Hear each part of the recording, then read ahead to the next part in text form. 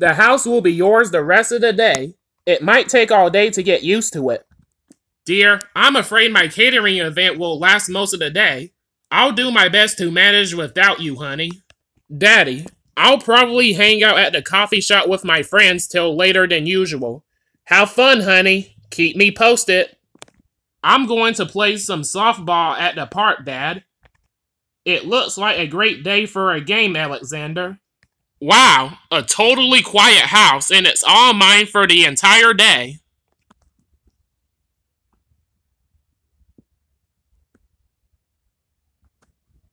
Do you want to go to the bowling alley with me and knock some pins around? Sounds good to me.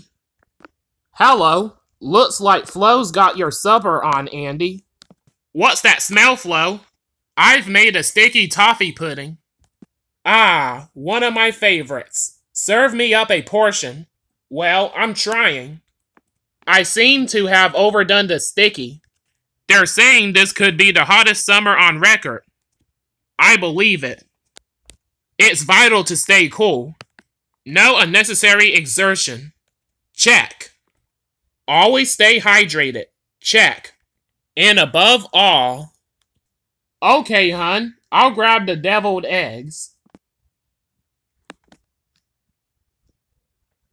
Share the ice cream. Sorry. In cartoons, they always draw a star to show something hurts. The older you get, the more stars you earn. I have my own galaxy. Hello, Siri. Siri, what's the weather tomorrow? The weather will be fair and warm.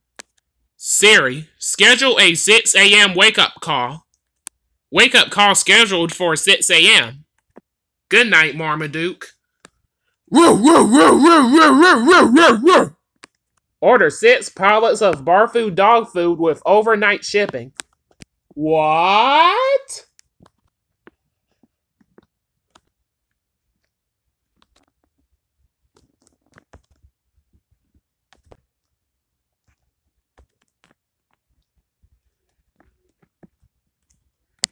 I'm just glad he's wearing a helmet.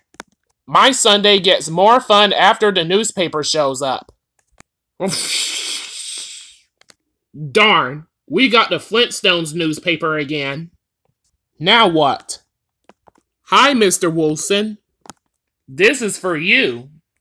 And why, pray tell, are you giving me that? I heard my dad telling my mom, you're having a hard time keeping your head above water. This may take a while. Leroy didn't come until 4 in the morning. Leroy's used to hockey, so he was disappointed Mickey and Goofy didn't have a throwdown. I can't mow the lawn today, Loretta. I have a lot on my plate. The circus is closing and selling everything. Now's your chance to upgrade your wardrobe. You said when your mother comes to make her feel comfortable.